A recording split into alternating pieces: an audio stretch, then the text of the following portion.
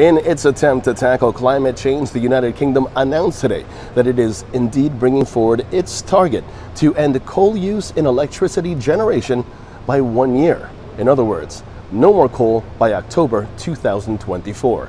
Now, the UK government's Energy and Climate Change Minister Anne Marie Trevelyan said in a statement that today we're sending a clear signal around the world that the United Kingdom is leading the way in consigning coal power to the history books and that we're serious about decarbonizing our power system so we can meet our ambitious world leading climate targets.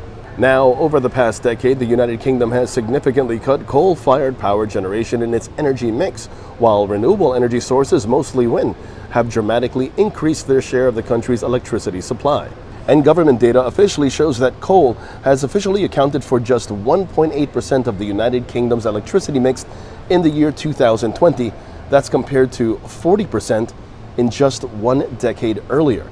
Now, the plan to end coal power by October 2024 means that within just 10 years, Great Britain will have reduced its reliance on coal from electricity from around one third to zero.